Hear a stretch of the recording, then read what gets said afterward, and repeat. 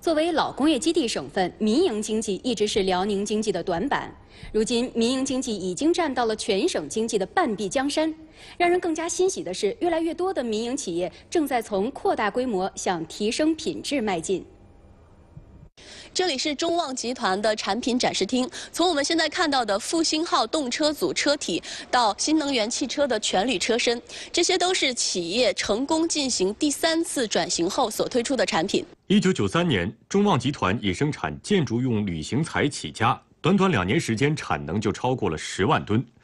二零零一年，美国铝业开出四点五亿元人民币的全盘收购价，没想到中旺谢绝了这一橄榄枝，反而做了一个大胆的决定。转型，当时呢，建筑铝型台呢销售非常好，那么公司要停掉这些产品的这个投入，啊，那么转而把几十个亿的资金投入到工业铝型台的设备采购、研发人员的这个团队的建立当中去，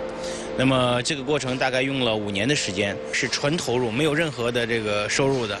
这次转型让中旺拥有了参与国际竞争的实力，成长为全球第二大的工业铝挤压产品研发制造商。今年八月，中旺与车企共同研发的首款国产纯电动跑车正式上市。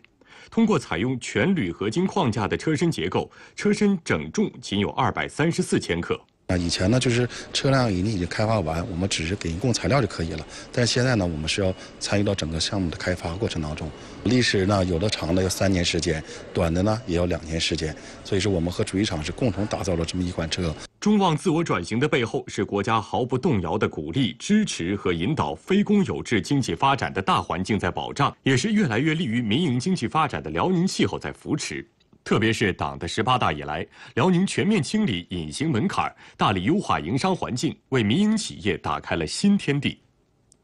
上周，在上海举办的中国国际工业博览会上，沈阳远大企业集团携手德国汉诺威大学燕斯团队，推出了新一代人机协作机器人，